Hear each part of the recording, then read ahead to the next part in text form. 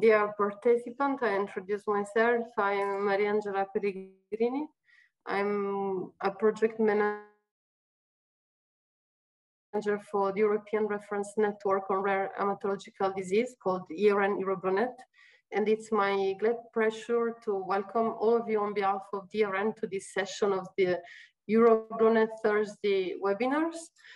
Uh, before starting, so before introducing you the today's lecture, I would like to share with you some technical information and some how home rules. So the, um, as you are seeing, this session is recorded uh, because we implement all the video in our our YouTube channel and the learning platform. So if you don't feel comfortable with this idea, please switch your camera off and also be kindly informed that your microphone will be muted along all the presentation and that if you have any questions uh, during the presentation, you can both write them in the chat and it will be we will address them at the end of the presentation or also uh, at the end of the presentation you will have the possibility to unmute yourself take the floor and ask the question, give a feedback, and by the way, interact with the speakers. Um, coming back to the programs, as you may know, those educational activities have the objective of promoting the interest on very uh, topics in, in order to spread among health professionals the cutting edge advances in the field of rare hematological disease. So with this aim, today we are going to assist to a lecture on primary myelofibrosis, so diagnosis and treatment. Uh, this lecture is uh, provided by Professor Jean-Jacques Kiladjian, who is Professor of Clinical Pharmacology at Université de Paris, uh, consultant hematology and head of the Clinical Investigation Center of Saint-Louis Hospital in Paris. And he's also an active member of many society, including the EHA, the American Society of Hematology, the European Leukemia Net, and the European School of Hematology. So please, Professor Kiladjian, the floor is yours. Thank you very much. Thank you very much, Mariangela, for the kind introduction and for the invitation uh, to give a lecture today about myelofibrosis. Uh, as uh, you said, I'm mostly involved in the management of patients with myeloproliferative neoplasms in Saint-Louis Hospital and uh, at the head of clinical investigation center when we where we do a lot of clinical studies for these patients and in this condition. So today I was asked to discuss about diagnosis and treatment of the disease, just a few words about the clinical diagnosis of myelofibrosis that is often discovered uh, in the workup of a splenomegaly that can be, as you can see in these patients, sometimes very huge uh, and very symptomatic. And it's a rare disease where it can be as much huge as these type of things, but it can also be diagnosed uh, in uh, because of anemia in the workup of an anemia that is also frequent and uh, also sometimes because of symptoms. And these symptoms include the so-called constitutional symptoms, unexplained fever, night sweats, and weight loss that indeed you will see uh, are taken into account in the uh, stratification and risk stratification of these patients, but these patients often complain of many, many other symptoms like uh, bone pain, abdominal symptoms, pruritus, etc. And it's uh, the uh, interest of our colleague in the US, Dr. Ruben Mesa, who developed uh, different questionnaires that have evolved across the time and the so-called now MPN uh, symptom assessment form, TSS, that is translated in many languages and can be used. And this uh, tool allows to capture 10 symptoms. And as you can see, the patients with myelofibrosis, that one in yellow here, are always those who have the highest symptom burden for each of these symptoms, except for pruritus that is more frequently seen in patients with polycythemia vera, as you know. So these patients are highly symptomatic and these symptoms don't, don't only include the constitutional symptoms, but many others. Of course, as you know, the diagnosis of myelofibrosis can be highly suspected just on the blood film, uh, although the number of leukocytes and platelets can be highly variable. You have some patients with very high counts, especially, for example, patients who evolve to myelofibrosis post-essential uh, thrombocythemia may have elevated platelets, but also sometimes you have about 20% of patients who may present with cytopenia and sometimes severe thrombocytopenia from the beginning, from diagnosis. And you will suspect, uh, as you know, myelofibrosis with the presence of immature granulocytes, erythroblasts in the periphery, and these famous teardrop cells that uh, sign this disease. You can see on this slide uh, the uh, diagnostic criteria, the latest diagnostic criteria that were developed in 2017, and that include several sets of criteria, my, my major and minor criteria. The first major criterion, obviously, is to show that there is a fibrosis in the bone marrow biopsy. And uh, for the diagnosis of primary myelofibrosis, you need to, to have at least a grade two or grade three fibrosis according to the WHO scoring system. Remember that system starts with grade zero when there's nothing, grade one, slightly loose network of reticulin only, uh, and grade two and three, data required for a diagnosis of primary myelofibrosis. Of course, your patients should not have uh, criteria for the other uh, uh diseases that may sometimes mimic uh, primary myelofibrosis like MDS, for example.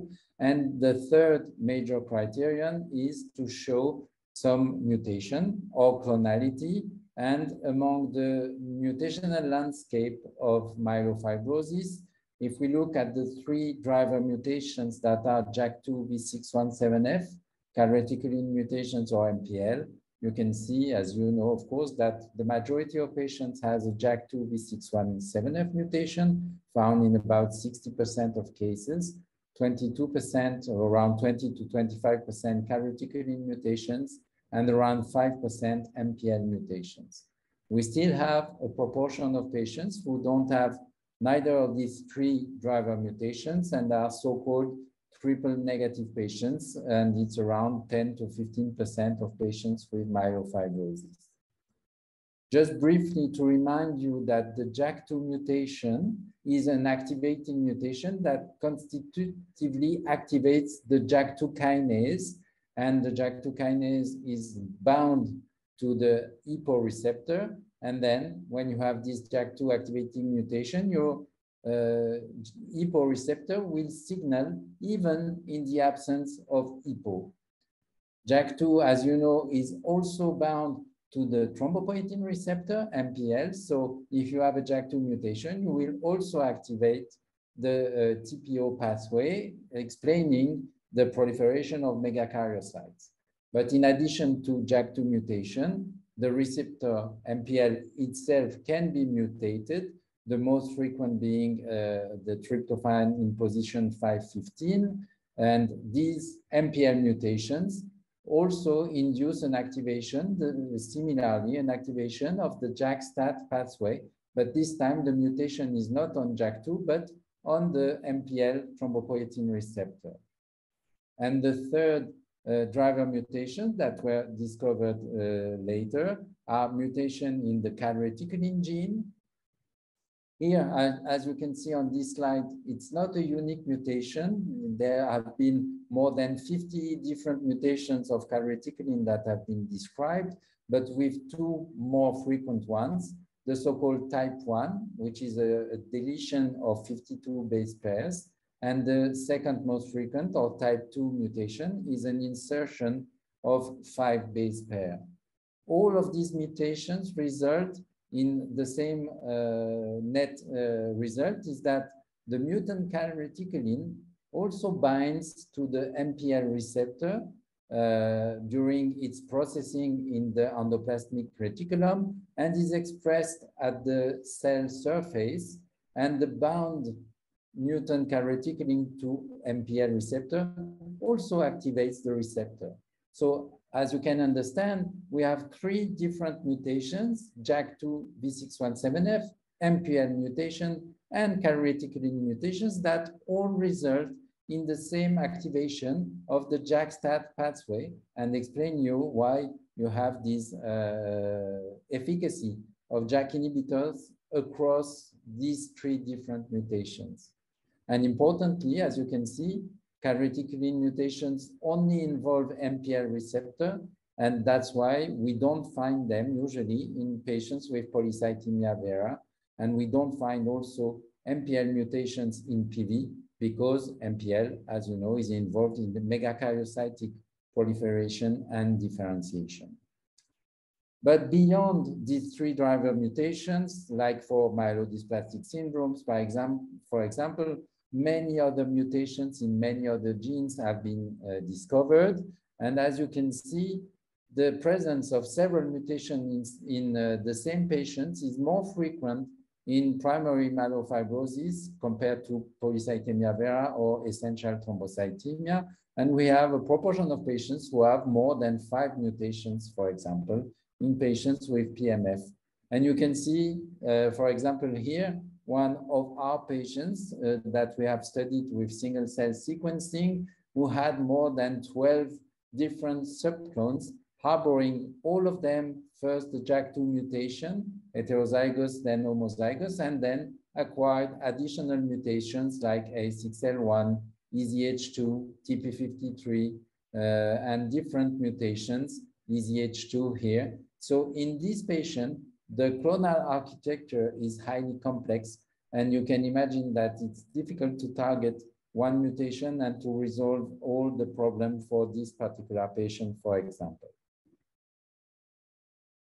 And of course, we also have a set of minor criteria, anemia, leukocytosis more than uh, 11,000, splenomegaly, increased LDH, and leukoerythroblastosis. And for the diagnosis of pre-MF, you need to, uh, to collect all three major criteria and uh, some of the minor criterion. Why so complicated? You may uh, say that once you have a splenomegaly, leukoerythroblastosis, and the JAK2 mutation, well, you have a diagnosis of PMF, but no, we have to be careful and collect all these criteria because fibrosis in the bone marrow doesn't mean necessarily primary fibrosis because it can be found in several other conditions like myelodysplastic syndromes, some lymphomas, metastasis of solid tumors, even some cases of autoimmune myelofibrosis are sometimes discovered that require completely different treatment. You also have infectious or toxic causes. So many other causes can cause fibrosis in the bone marrow. So we have to stick to the uh, uh, diagnostic criteria of the uh, WHO to be sure that we have an MPN related myelofibrosis and not another kind of myelofibrosis. Now let's move back to the clinical uh, presentation of these patients. What are the main problems in these patients? You can see that the vast majority of patients, about 80% of them, complain of splenomegaly or have a splenomegaly at diagnosis. The second most frequent found in about one third of patients at diagnosis is anemia, below 10 grams of hemoglobin. And the third, constitutional symptoms. And as we saw before, many other symptoms also. So the goals of therapy in myelofibrosis are mainly based on these uh, clinical evidences. First, we want to reduce the splenomegaly, to improve the anemia or the cytopenia in patients who have cytopenic, to alleviate the symptom burden that sometimes can be very high, and obviously to avoid premature death and improve survival of these patients. However, the management of these patients is quite sometimes challenging because first we don't have any curative medicine. Uh, of course, allogeneic transplantation can cure these patients, but all of them are not eligible due to advanced age or poor condition. We have only few drugs that are approved for the therapy of myelofibrosis. We will discuss them later. And usually each of these, these drugs is only effective for some of the, these symptoms and not for all of them. For example, you have drugs that may reduce the splenomegaly like hydroxyurea or ruxolitinib, but they will worsen the anemia or the thrombocytopenia of these patients. So we need to personalize the treatment strategy of these patients based on their main clinical need and also their survival risk. So for this stratification, since the score of Lille that was developed by Brigitte Dupriez back in 1996, we have more refined now prognostic scoring systems, the most uh, popular and the easiest being the International Prognostic Scoring System, IPSS for myelofibrosis, that includes five very simple uh, risk factors that can collect just by seeing the patient's and his blood count an age above 65 years, the presence of these three constitutional symptoms, uh, anemia with an hemoglobin below 10 grams per deciliter, hyperleukocytosis above 25,000, and the presence of blast on uh, the peripheral blood, just yes or no, is one risk factor. And you can stratify your patients according to these five factors. In low risk patients who have none of them, with a, a median survival that is uh, more than 12 years. Intermediate one if one factor, intermediate two if two factors, and high risk patients with more than three risk factors who have around two years of median survival. Since the IPSS that was developed already more than 10 years ago, uh, we have now more defined, refined systems. One of the uh, more uh, most used recently is the so-called MIPSS 17 that indeed include not only these five factors, but also some biological results like the grade of fibrosis, but mostly uh, the molecular results, including so-called high molecular risk mutations that are bad mutations worsening the prognosis of our patients and the mutations that have been identified by the group of Alessandro Vannucchi first are ASXL1, EZH2, SRSF2, IDH1, and IDH2. So the presence of one or more uh, of these mutations clearly worsen the prognosis of our patients and may be taken in consideration to define the treatment strategy. So now, how can we treat those patients? You can see here, for example, the uh, proposal from the ESMO, but uh, all the proposals are almost the same that are based first on the IPSS score. And if we look first at the group of patients at intermediate two or high risk, the first question, because we don't have curative medicine and because the median survival of these patients can be as low as less than one or two years, is are the patient eligible for allogeneic transplantation? And if yes, we have to propose transplantation. I can, you can see here the gross results of transplantation that even with reduced in intensity uh, regimen are uh, also linked with some transplant-related mortality and an overall survival around 50%. I just show you here the results of uh, the most recent prospective trial that we conducted in France with Marie Robin, uh, that's the called JAK-ALLO study that tested the use of ruxolitinib before transplantation in newly diagnosed high-risk patients that were not previously treated and in whom we have a plan to organize a transplantation within six months. So it's a short-term treatment with ruxolitinib prior to transplantation. So the results of this trial were published last year in bone marrow transplantation, and the disease-free survival at 12 months was 52%, 46% at 24 months, and the overall survival is in range with what I showed you, 68% at 12 months, 55% at 24 months. You can see here, I just show you this curve showing the survival according to the type of donor, again, which was the main factor. You see that with uh, uh, sibling donors, the uh, overall survival, the blue curve is very nice, and it declines with unrelated donors, 10, 10 or 9, 10, uh, mismatch, uh, the green and red curve. And you can see that unrelated donors with 9, 10 uh, compatibility is associated with very, very poor survival and is not recommended at this time and only uh, uh, familial donor and 1010 unrelated donor probably are suitable.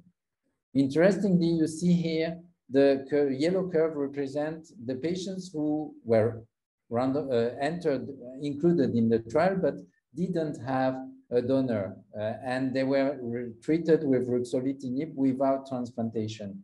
And you can see that their overall survival is quite nice, similar to those with sibling donors for the beginning of the follow-up, but then after two years, it declines and goes down. So this may teach us or tell us that we can certainly treat patients that are eligible for transplantation with ruxolitinib uh, for a while, but if your patient is at high risk and has a, a familial donor, then transplantation should not be delayed too much because then you lose efficacy and you lose uh, survival for these patients. Now, if we look at uh, uh, therapies that we can give to our patients, I have summarized on this slide the main uh, international guidelines for myelofibrosis, European Leukemia Net, the NCCN in the United States, the ESMO, and the British guidelines. And you can see that for all of them, clearly, ruxolitinib eh, is indicated for the patients with symptomatic splenomegaly.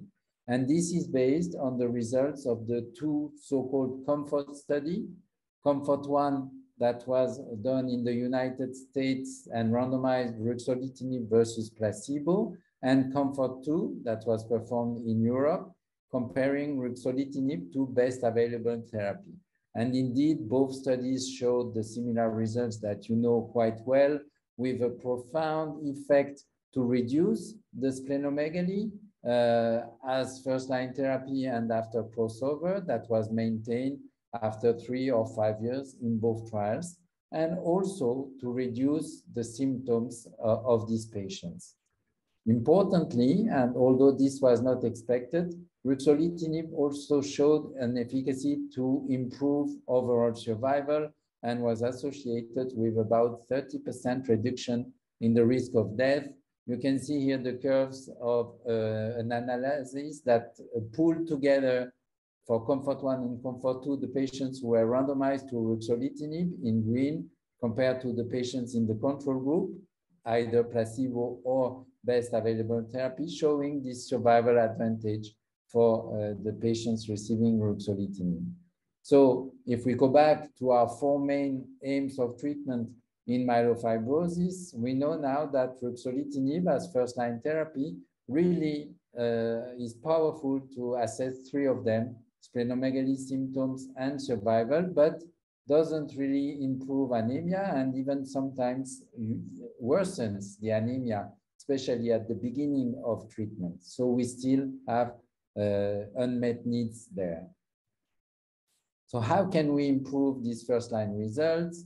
Either by uh, having better responses for the splenomegaly or to avoid or improve also anemia in those patients. So one possibility is to combine something to ruxolitinib, and there are three phase three trials ongoing as a first-line therapy the first one combines ruxolitinib to parsaclisib, which is a CI, CD3, CI3, PI3 sorry, kinase inhibitor.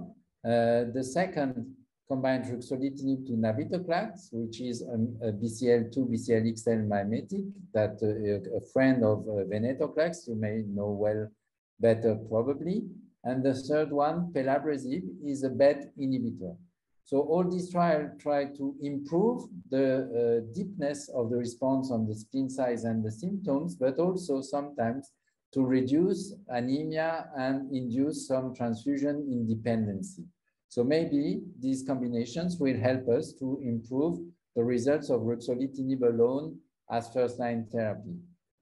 In our hands, we have just completed a phase one, two study that tried the association of ruxolitinib and interferon alpha 2A in patients with myelofibrosis. Indeed, this was a phase one, two, and also a platform for the evaluation of some disease modifying attributes in these patients because we hope that interferon can induce disease modification in these patients and to show that we have many ancillary studies in this trial. We, of course, followed the reduction of the MPN clones and not only the driver clones, but also the additional mutations by next generation sequencing.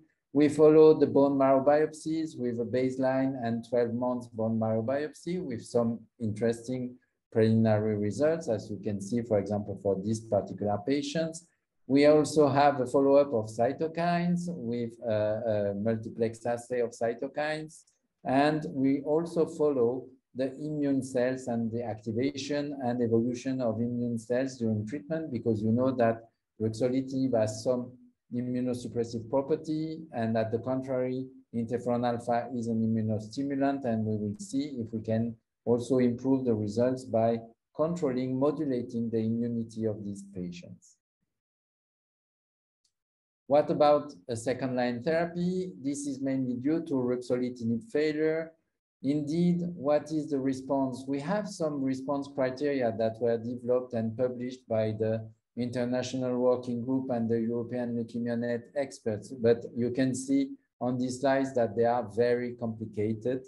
They were designed indeed for clinical trials. They include multiple parameters. Some of them are not collected uh, routinely as, for example, molecular response or sequential bone marrow biopsy. And it's almost impossible to apply these in clinical practice. But in addition, we don't have a clear definition of what is ruxolitinib failure.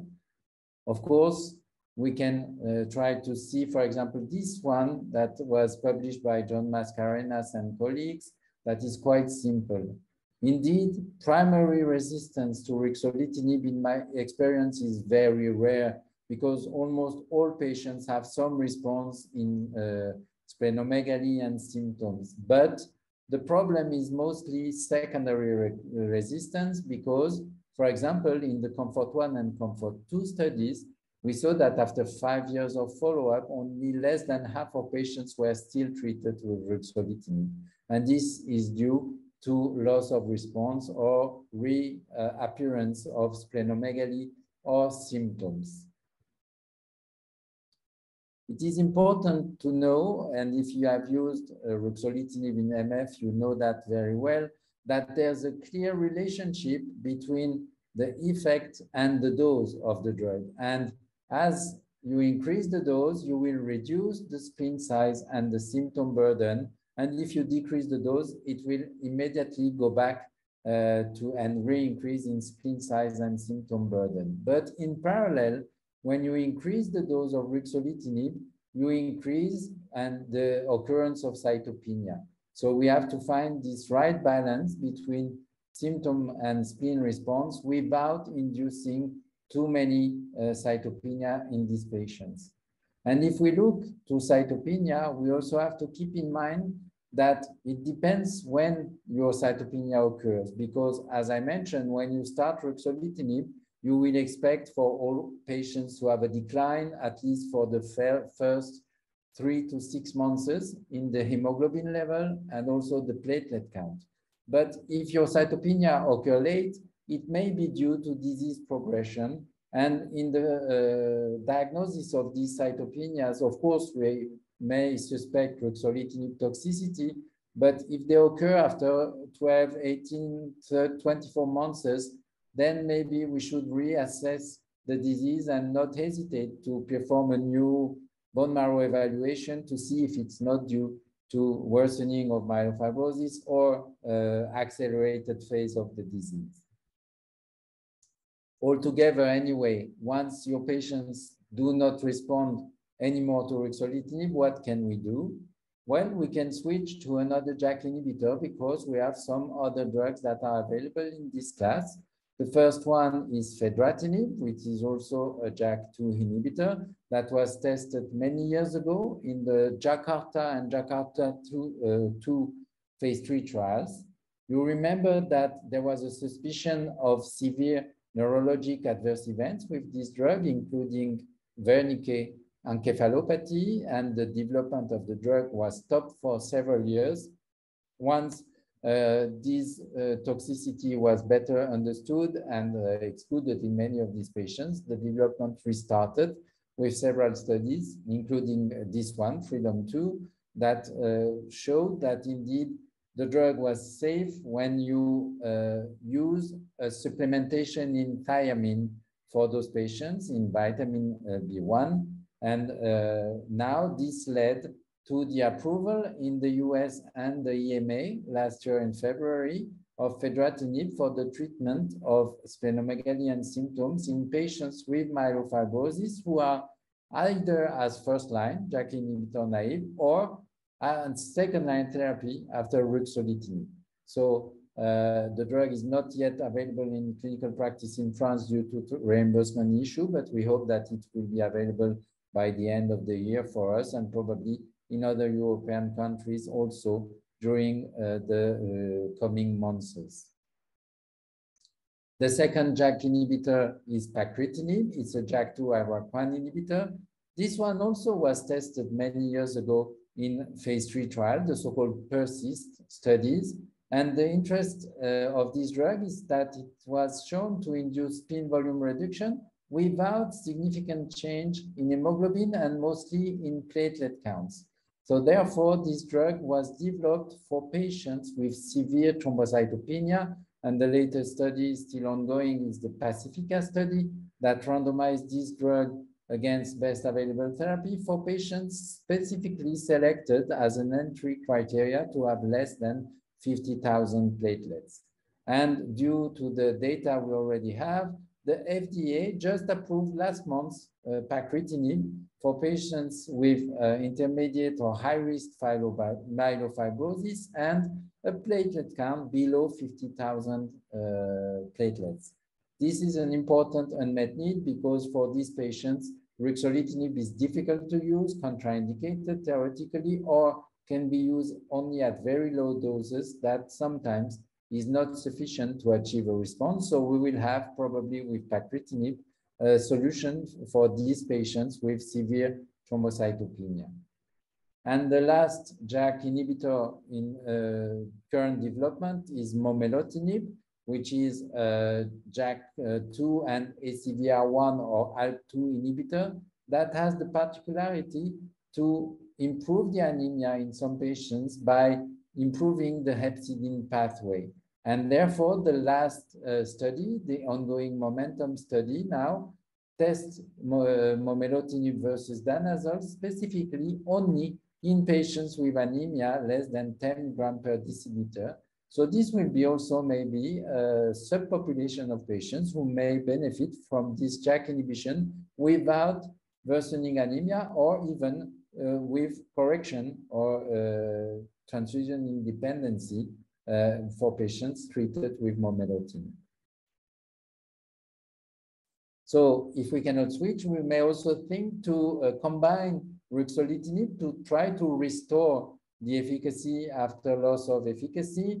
As you can see, there are many ongoing studies with many different partners, but the most promising probably are again two partners that we uh, saw for the first line therapy, navitoclax, the BCL-XL, BCL2 mimetic, uh, that is tested in phase three trial, and pelabresib, the BET inhibitor that is also currently tested in phase three studies. And I, we hope that we will have soon the results of this trial to see if we can restore an efficacy of ruxolitinib uh, without discontinuing completely ruxolitinib.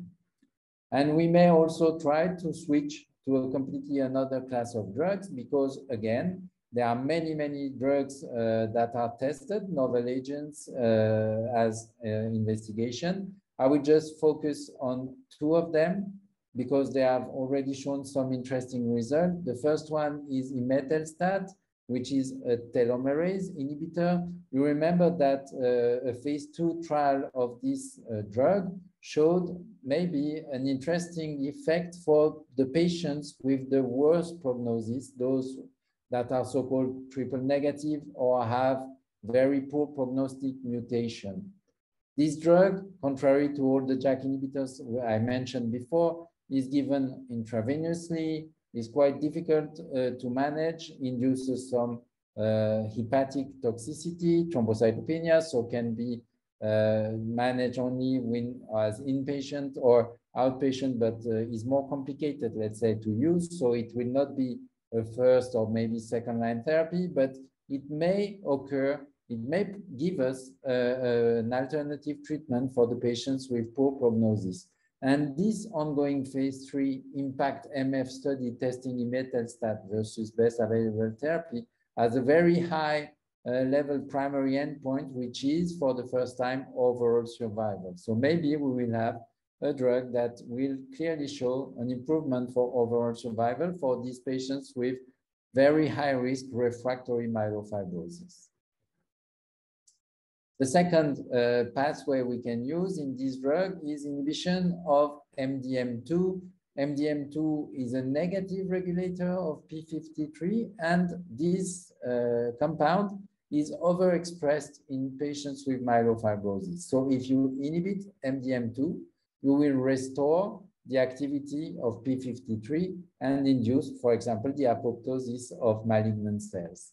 And this inhibitor, KRT-232, or navtemadlin, is currently tested in a phase 2-3 study in patients with uh, refractory or resistant myelofibrosis, randomized versus best available therapy. So now, just to finish a few words on patients with low or intermediate risk uh, disease, how can we treat them? I really think that for these patients, we need to address what is their clinical need, what is their main problem. Is it anemia? Then we have some old solutions like corticosteroids, danazol, EPO and ESA may be efficient for these patients, IMiD sometimes, and maybe a new option, luspatercept. You know that this drug was approved recently for patients with uh, myelodysplastic syndrome and uh, refractory anemia with ring sideroblast. So luspatercept has also shown some efficacy, especially uh, to improve the anemia induced by ruxolitinib and is currently tested in a phase three trial combined to ruxolitinib. And maybe we will have some interesting a way to improve anemia in these patients with this drug in the near future. For patients with symptomatic splenomegaly, hydroxyurea may sometimes uh, uh, induce some responses. I must say that we don't use very rarely since the era of ruxolitinib radiation or splenectomy, but sometimes it still can be useful.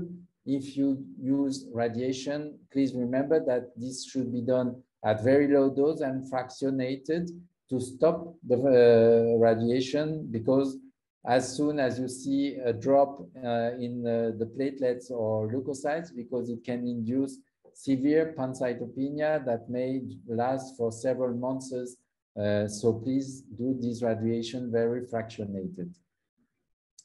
If uh, your patient has constitutional symptoms or symptomatic splenomegaly uh, besides being at a low or intermediate one risk, I think ruxolitinib can also be proposed for these patients.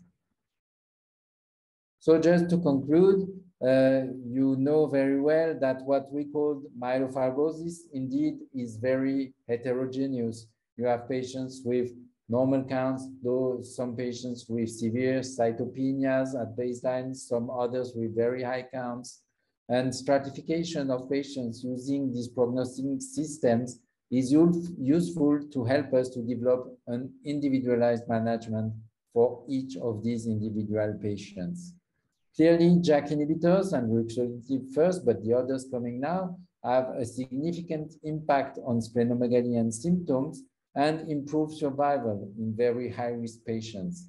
Ruxolitinib is still, uh, for the moment, the treatment of choice for symptomatic patients, but we still need new therapies, and they are coming for patients with severe cytopenias or those who develop resistance, intolerance, or do not respond adequately to ruxolitinib. So thank you very much for your attention, and I would be happy to uh, answer your questions.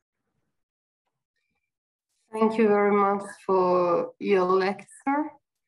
As I said before, you can now have the possibility to unmute yourself for raising question or comment the lecture on sharing your experience in your service, you, whatever you prefer. Also, you can write the questions in the chat. I see a comment in the chat, feedback, great presentation as always.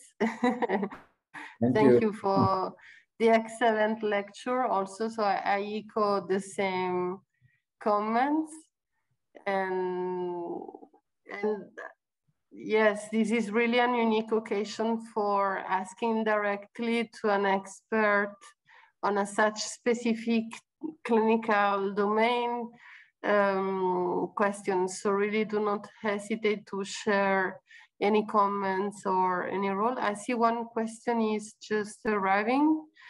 Um, what is the role of PMF0 in PMF development? That's uh, that's an important question. I didn't mention because I, I was asked to talk about primary myelofibrosis, overt myelofibrosis, but as you know, the WHO 2017 uh, defined a kind, a so-called prefibrotic myelofibrosis that indeed mimics essential thrombocythemia. These patients usually have elevated platelets, uh, but the, you may suspect uh, the, this diagnosis uh, compare instead of ET because these patients are, have often slight splenomegaly, elevated LDH, slight anemia that is not usual in true essential thrombocythemia, and the bone marrow biopsy reveals a grade zero or one myelofibrosis. And as I mentioned, for the diagnosis of PMF overt PMF, you need at least a grade two fibrosis. So you have this subset of patients that have an early stage probably of myelofibrosis, are more prone to evolve to overt myelofibrosis over the years. But I would say for the moment, we don't have a, a therapeutic implication of this diagnosis because we don't have any drug that has been shown to avoid the evolution to overt myelofibrosis, although there are some candidates, as you know, for me, for example, maybe interferon would be interesting in these patients to uh, diminish the risk of transformation to overt myelofibrosis. So for the moment, once you have this diagnosis, maybe your follow-up will be more careful. Uh, you will see maybe the patient more frequently than true ET patients. Maybe you will do subsequent biopsies after a couple of years to see if the grade of fibrosis has increased in the bone marrow, but it's only, I would say, more for the follow-up of these patients, but no clinical or therapeutic implication today.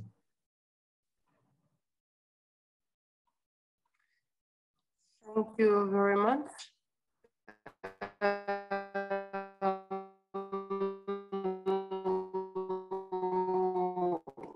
So the link question is, would you suggest iron chelation therapy in low risk patients, asymptomatic patients?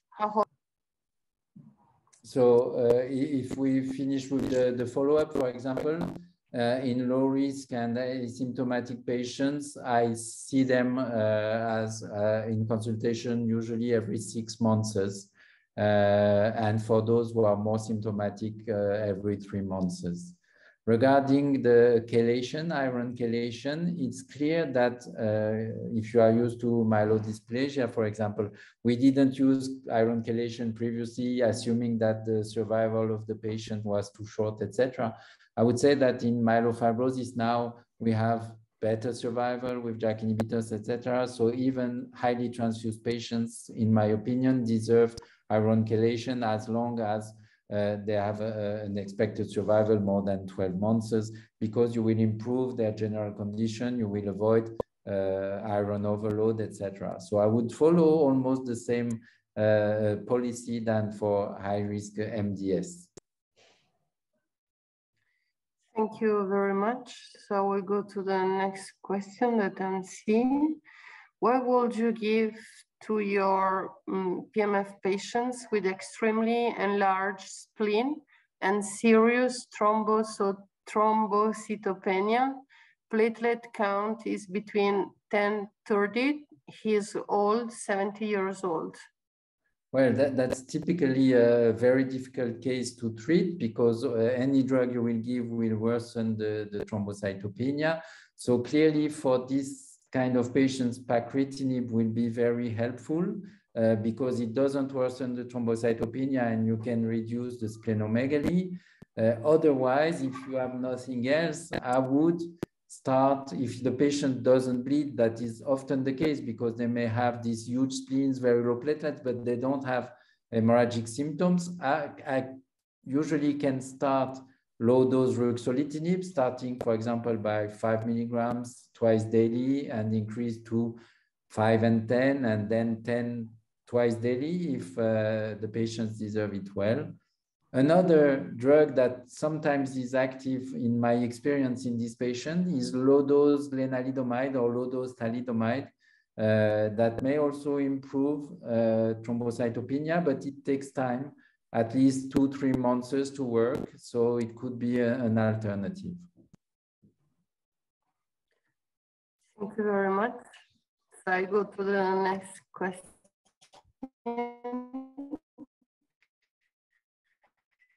Could you comment on your views or routine NGS examination in lower risk MF patients who are wounds?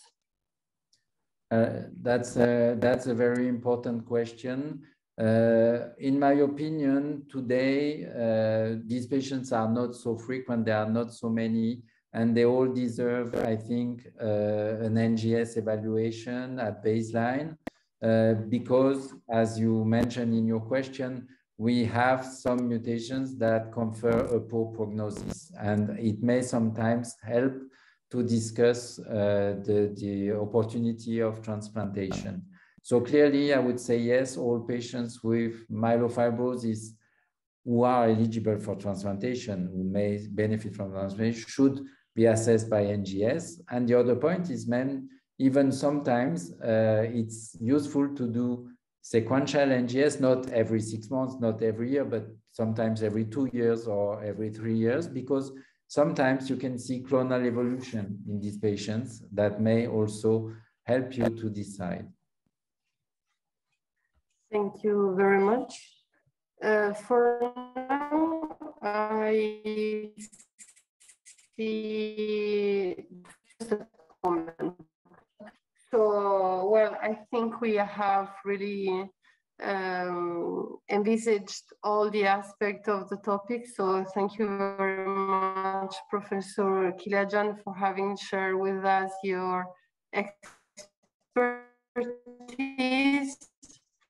And also I would like to thank all the participants for the debate and the inputs received this evening.